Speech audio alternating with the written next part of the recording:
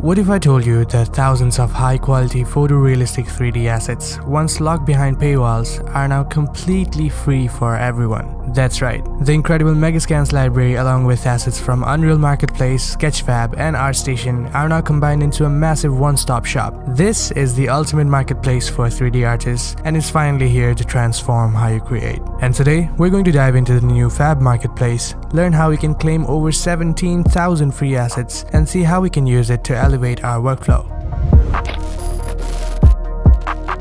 If you like to follow news related to 3D in general, it's no surprise to you that Epic Games has been merging with some major companies over the last few years, and they announced Fab in the State of Unreal at GDC 2023, promising a unified marketplace for all kinds of applications. Built on the foundation of Sketchfab, Fab now contains assets from all of their major marketplaces, Unreal Marketplace, Sketchfab of course, ArtStation, and the Quixel Megascans library. What makes this so exciting for 3D creators is the sheer volume and diversity of assets available in one place, from game-ready models to stunning photorealistic environments. Whether you're working in animation, game development, VFX, or any other creative field, Fab has you covered. But here's the best part. Until the end of this year, the entire Megascans library is completely free for you to acquire. That's over 17,000 AAA quality photorealistic 3D scanned assets, and once you claim them, they're yours forever, no matter which 3D software you use Unreal Engine users have enjoyed these assets through the Quixel Bridge plugin for a while now, but the fact that they're now free for everyone is just crazy. So this is what Fab looks like. Very clean and thank goodness they went with a dark theme and decided not to blind us with the old Sketchfab interface. You can log in here with your Epic Games account and all your previously owned assets will automatically migrate over. Now, I've heard a few users mention that some of their products are asking to be repurchased, so do keep that in mind. And right here, you'll notice a banner that says, get all Quixel Megascans for free with a claim now button below that. Click on it and it'll take you to a page where you can just hit claim free Megascans and they're yours forever. I seriously appreciate how straightforward Epic has made this. People were running scripts to manually claim each asset one by one, guilty as charged here. So I'm really glad they've simplified it. Thanks Epic for not torturing us.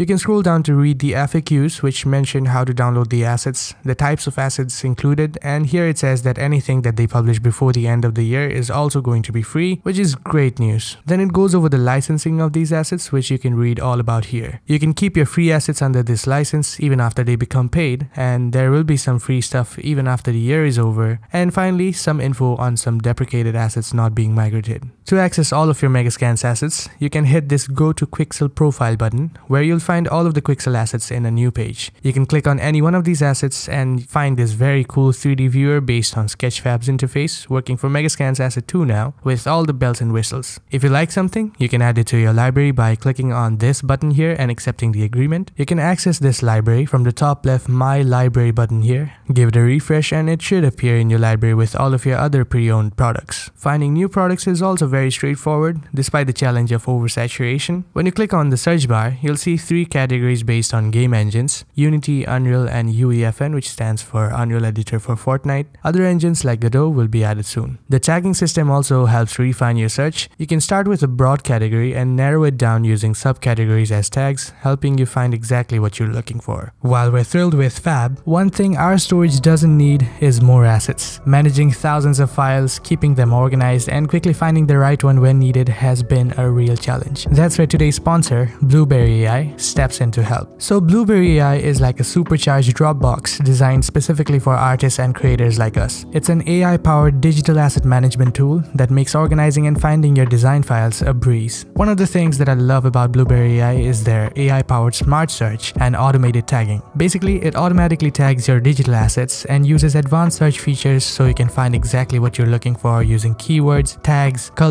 images, or even just a description. No more scrolling through endless files trying to locate that one texture or model. Another fantastic feature is the seamless integration with tools we already use, such as 3ds Max, Maya, Blender, along with Perforce, Jira, and various game engines. This means you don't have to change your workflow, Blueberry AI fits right in. Plus, it supports a ton of file types, from images to complex 3D models, and even in their proprietary file formats like .blend, so compatibility isn't an issue. For those of us collaborating with others or or working across multiple devices, Blueberry offers efficient version control and large file transfer capabilities. You can track changes, manage updates, and share large files securely and quickly, which is super handy when dealing with big projects. Additionally, Blueberry allows you and your team to preview assets directly in a browser without needing to open any editing software. This is a game changer for those who only need to provide feedback on a project and prefer not to install numerous editing tools. If you're looking to streamline your asset management and save a lot of time, I definitely recommend giving Blueberry AI a try. It has made organizing and accessing my digital art assets so much easier. You can sign up for free using the link in the description below and start optimizing your workflow today.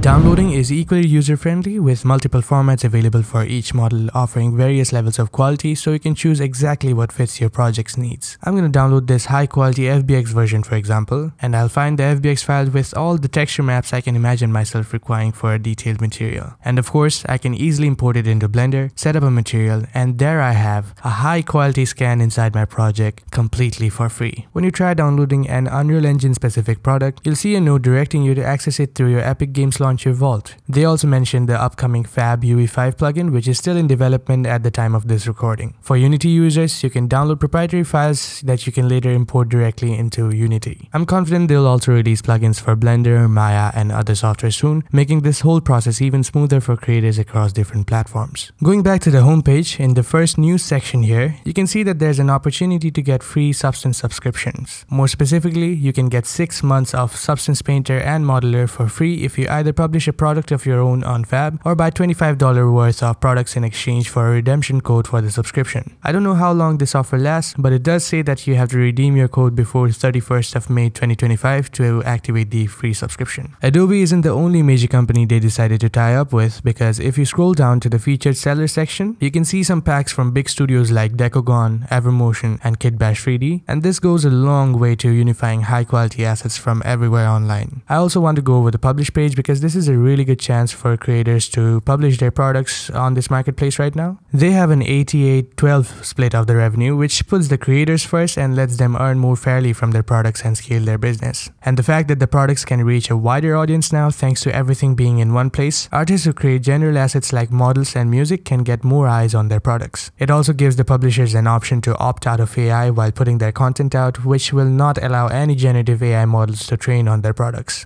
Fab is launching just now and they're providing all of this crazy stuff for the customers, but what about the sellers? Well, until the end of this year, you can keep 100% of the earnings from anything you sell on this platform, and that is an incredible initiative by Epic Games, and I'm all for it. There is a $100 payout threshold. If you don't meet it, your earnings will roll over month to month until you do, and if by the end of the year you still haven't met it, Epic Games will pay out whatever balance you have accumulated. Now, while Fab offers a lot of exciting opportunities for creators, it's not perfect. There are a few areas where it falls short or could improve. Let's dive into some of the downsides I've noticed. One major issue is the lack of open text reviews or question sections, which were available in the previous marketplaces like Unreal Engine Marketplace. Right now, users can only leave star ratings, which are often less helpful than detailed reviews. This limits user feedback, making it harder to understand how useful or functional certain assets are before purchasing. Many users have expressed frustration with this, and I couldn't agree more. As I mentioned earlier, some users have experienced issues with assets not properly migrating from previous platforms. In some cases, products even asked to be repurchased, which has understandably caused frustration. For a short time, I noticed my library was completely empty too, but after claiming the Megascans assets, adding something new to the library, and refreshing the page, everything updated. So if you run into the same issue, that might be a quick fix. Another common complaint is that Megascans will become a paid resource for everyone, including Unreal Engine users starting next year. While I understand the frustration,